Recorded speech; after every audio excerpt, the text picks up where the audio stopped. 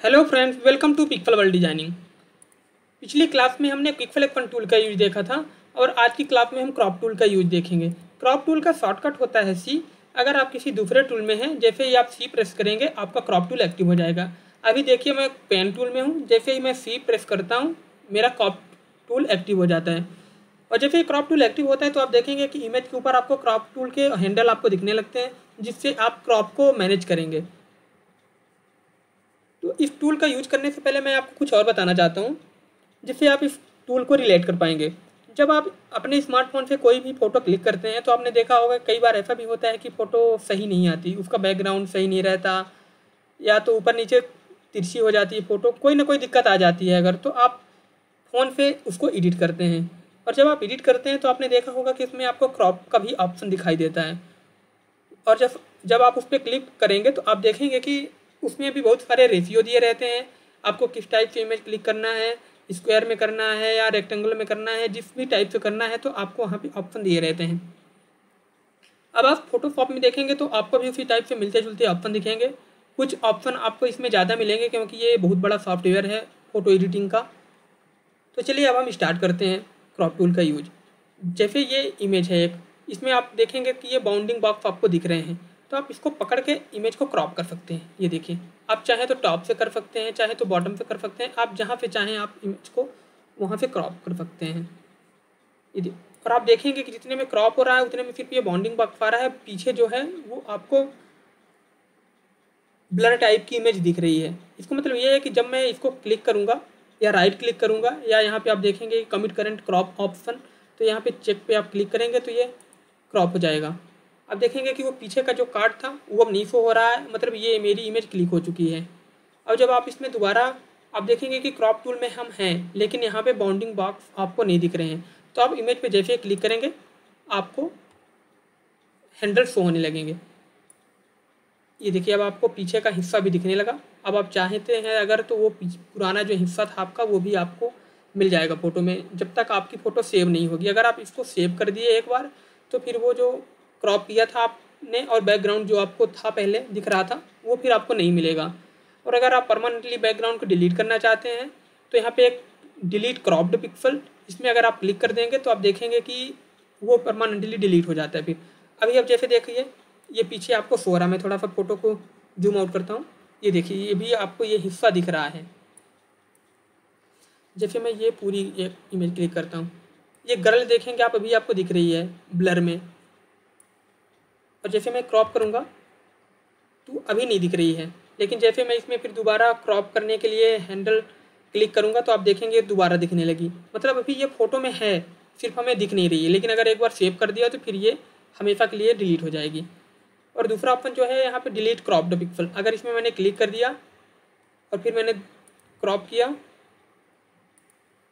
ये देखिए क्रॉप किया। अब देखेंगे आपको परमानेंटली डिलीट हो चुकी है, नहीं दिख रही है वो। गर्ल जो थी वो नहीं दिख रही है, सिर्फ़ ये बॉय दिख रहा है। मतलब वो अगर मैं सेव कर दिया उसको तो हमेशा के लिए डिलीट हो जाएगी। अब मैं इसको कंट्रोल जेड करता हूँ।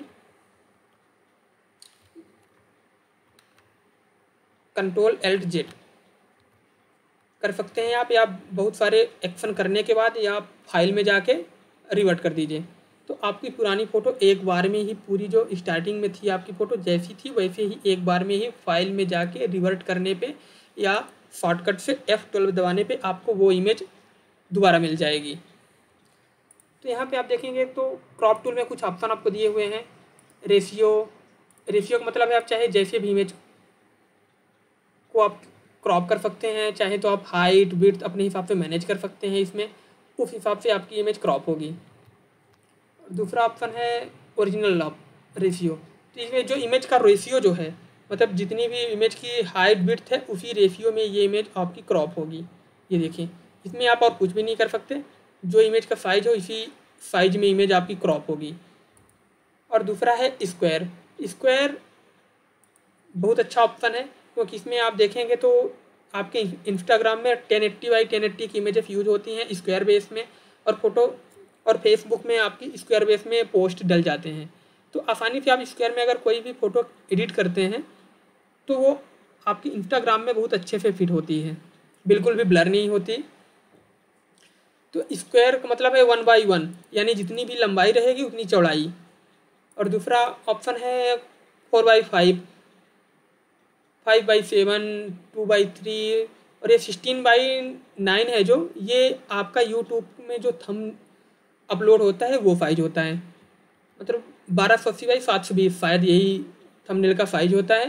ये इसी रेशियो होता है सिक्सटीन बाई नाइन ये आपके थंबनेल का रेशियो होता है। इसी साइज़ में आप थंबनेल बनाएँगे तो आपका यूट्यूब का थंबनेल बहुत परफेक्ट तरीके से बनेगा। रेशियो में आप यहाँ पे देखेंगे तो कुछ ऑप्शन दिया इसको अपने हिसाब से आप चेंज भी कर सकते हैं मतलब हाइट विड्थ अपने हिसाब से दे सकते हैं मतलब जैसे आप यहाँ पे चाहते हैं बीफ देना तो बीफ दे सकते हैं। यहाँ पे चाहें तो आप सॉरी ट्वेंटी बाई टेन दे सकते हैं। मतलब चौड़ाई की लंबाई मतलब विड्थ जितनी भी है, उसकी हाइट हाफ़ है। इसको आप यहाँ पे क्लिक करेंगे तो ये ऑप्शन क्लियर हो जाते हैं। तो आपको क्रॉप टूल का यूज़ समझ में आ गया होगा। मैं इस फ़ाइल को रिवर्ट करता हूँ। क्लिक करता हूँ। क्रॉप हो गई। रिवर्ट करता हूँ। जो जैसी मेरी इमेज थी उसी फॉर्मेट में इमेज मुझे मिल चुकी है ओरिजिनल इमेज अब आप यहाँ पे देखेंगे, एक दिया हुआ है स्ट्रेटन इसका, इसके लिए मैंने एक दूसरी इमेज ओपन करके रखी हुई है। ये इमेज इसमें आप देखेंगे कि ये ऊपर का जो हिस्सा है और ये जो नीचे का हिस्सा है, यहाँ पे ये थोड़ा सा इमेज तिरछी है। तो इसी के लिए स्ट्रेटन यूज़ किया जाता है। जैसे भी आप कोई भी इमेज क्लिक करते हैं तो अगर वो तिरछी हो जाए तो उसके लिए आप ये ऑप्शन बहुत शानदार है। इससे आप इमेज को सीधा कर पाएँगे। मैं आपको दिखाता हूँ, आप कंट्रोल आर करिए। कंट्रोल आर से आपके रूलर दिखने लगते हैं। अब आप इसको अगर यहाँ पे ला के रखेंगे तो आप देखेंगे कि ये इमेज तिरछी है। ये देखिए आप यहाँ से यहाँ तक। ये बिल्कुल सीधी इमेज नहीं है। तो आप यहाँ पे स्ट्रैटन पे क्लिक करेंगे और इसके स्टार्टिंग पॉइंट पर यहाँ पे क्लिक करेंगे, जहाँ पे इमेज तिरछी है। क्लिक किया। और ये इन पॉइंट में ले जाके छोड़ देंगे। ये देखिए, अब आपकी इमेज बिल्कुल सीधी हो चुकी है और आप देखेंगे कि ये क्रॉप का ऑप्शन भी बोल रहा है कि अगर आप क्रॉप करना चाहते हैं तो इंटरप्रेस कीजिए, आपका क्रॉप हो जाएगी वो इमेज मैं क्रॉप करता हूँ आपको और दिखाता हूँ। अब आप इसको नीचे करता हूँ मैं मूव टूल से। ये देखिए इमेज बिल्कुल सीधी हो चुकी है। आप कंट्रोल जेट करेंगे, पुरानी इमेज आपकी, ये तिरछी वाली, ये कंट्रोल ये देखिए, आपको ये पूरी इमेज समझ में आएगी ये देखिए।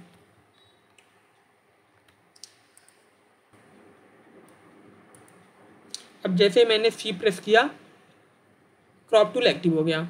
अब आप यहाँ पे देखेंगे कि आपको कुछ ग्रिड के ऑप्शन दिए हुए हैं। Rule of third grid diagonal triangle golden ratio golden spiral ये सारी चीज़ों को मैं आपको यूज़ करके दिखाता हूँ। जैसे रूल ऑफ़ थर्ड थर्ड का मतलब है, जैसे आप मैंने यहाँ पे क्लिक किया क्रॉप के लिए, यहाँ पे तीन रो एंड तीन कॉलम आपको शो हो रही हैं। तीन तीन हिस्सों में ये बटा हुआ है। और इस बहुत शानदार टूल है ये। रूल ऑफ़ थर्ड मतलब जिस भी आप, ये पॉइंट जो आपको दिख रहे हैं, इनके बहुत मायने होते हैं। अगर इन पर कोई भी इमेज को फोकस कराना होता है तो रूल ऑफ़ थर्ड का यूज़ किया जाता है। आगे की एडवांस क्लास में मैं आपको ये सारी चीज़ें बताऊँगा। अभी सिर्फ़ आपको टूल का यूज़ बताता हूँ कि टूल पर कैसे करता है। और आप ग्रिड में क्लिक करेंगे तो आप देखेंगे बहुत सारी ग्रिड बन गई। अब जब आप क्लिक करने के लिए होंगे, आएँगे तो आप देखेंगे कि ये बहुत सारी ग्रिड आपकी बन चुकी हैं। ये सिर्फ़ ऑप्शन है, आप किस टाइप में आपको कौन सा ऑप्शन आपको अच्छा लगता है, उस टाइप में आप कर सकते हैं। ये डायगनल है, ये ट्रायंगल है गोल्डन रेशियो गोल्डन स्पाइरल तो सबसे अच्छा रूल ऑफ़ थर्ड होता है। इसमें इमेज आपको दिखती है और समझ में भी आती है चीज़ें। यहाँ पे एक ऑप्शन और है कि जैसे भी दिख रहा है, मैं जैसे मैं क्रॉप करने जाता हूँ, फिर भी ये शो होता रहता है। तो अगर आप चाहते हैं तो ये आउट ऑफ़ शो को आप कर दीजिए। जैसे ये आप क्रॉप करेंगे, तब आपको वो पॉइंट दिखेंगे, वो लाइन्स आपको तभी की दिखेंगी। इस टूल में तो कोई दिक्कत नहीं होती। जैसे ग्रिड आपने ओपन किया ग्रिड वाले ऑप्शन में गए आप और जैसे यहाँ पे ऑलवेज शो कर दिया ना तो ये ग्रिड हमेशा दिखती रहती है तो थोड़ा सा बैकग्राउंड को देखने को जो इमेज है ना, उसको देखने में थोड़ी सी दिक्कत आती है उसके पॉइंट को। तो इसलिए इसको आप ऑटो शो ओवरले पे रख दीजिए और इसको कर दीजिए रूल ऑफ़ थर्ड पे। और यहाँ पे है नेवर शो भी कर सकते हो, कभी शो नहीं होगा ऑलवेज शो ये तो पता है आपको cycle overlay cycle overlay इस पर आप क्लिक करेंगे ओ प्रेस करेंगे तो आपको वन बाई वन सारे ऑप्शन आपको दिखते जाएँगे। अभी नहीं दिखे, क्योंकि मैंने इसको ऑलवेज शो पे नहीं रखा हुआ है। अब आप वो प्रेस करेंगे तो ये देखें आपको वन बाई वन ऑप्शन दिखते जा रहे हैं। इसमें एक चीज़ और है, जैसे ये आप क्रॉप करते हैं तो आप देखेंगे कि यहाँ पे एक डॉट हो रहा इस इमेज पे नहीं दिख रहा अभी। ये अगर इस इमेज में जाता ये देखिए, आपको ये डॉट हो रहा। अगर आप इसको रोटेट करते हैं, इसको मैं कर लेता हूँ रूल ऑफ़ थर्ड में। अगर आप इसको रोटेट करते हैं, यहाँ पे कॉर्नर में आप क्लिक करके अगर इसको आप रोटेट करेंगे आप देखेंगे कि सर्कल से ही रोटेट हो रहा, बिल्कुल सर्कल से। इस पॉइंट को अगर आप यहाँ पे ले गए तो आप देखेंगे कि वो उस एरिया से रिमूव हो रहा। वो उस जगह से रिमूव हो रहा है। अब सेंटर से रिमूव नहीं हो रही ये चीज़ें। इस पॉइंट को आप जहाँ चाहें सेंटर पॉइंट बना के उसको आप क्लिक कर सकते हैं और क्रॉप कर सकते हैं।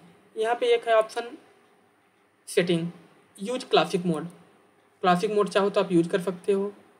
क्लासिक मोड में ये होता है कि आप जिधर ले जाएँगे क्रॉप के उधर जाएगा। और ये पुराना वर्जन है थोड़ा सा, इसलिए क्लासिक मोड अभी पे दिया हुआ है यहाँ पे। मैं इसको करता हूँ सो क्रॉप एरिया तो सो क्रॉप एरिया को अगर मैं अनचेक करता हूँ, इसको ऑफ़ करता हूँ तो आप देखेंगे कि पीछे जो है वो थोड़ा सा जो ब्लर दिखता था, वो नहीं दिख रहा है, ये देखिए।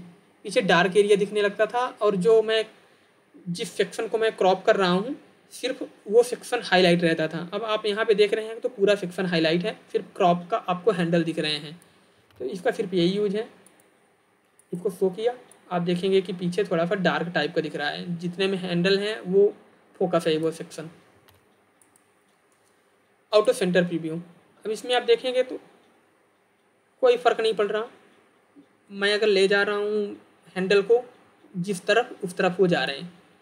और अगर आप इसको ऑन कर देते हैं आउटो सेंटर को तो आप देखेंगे कि इसको क्लिक करके वो पूरा एक सेंटर पे इमेज जा रही। ये जो कैनवास है ना, उसके सेंटर पे वो क्रॉप करने के लिए ले जा रहा है मुझे। ये देखिए, समझ पा रहे होंगे आप मेरा कहने का मतलब। और उसमें इमेज मूव नहीं हो रही थी। और अगर आप चाहते हैं सिर्फ़ इमेज को मूव कराना तो आप इमेज को भी मूव करवा सकते हैं क्लिक करके। इसको मैं करता हूँ क्रॉप और यहाँ पे करता हूँ रिवर्ट पूरी फ़ाइल मेरी दोबारा शो होने लगी। तो क्रॉप टूल का यूज़ आपको समझ में आ गया होगा। अगर क्रॉप टूल से रिलेटेड कोई डाउट है तो आप कमेंट करके पूछिएगा। Thank you good day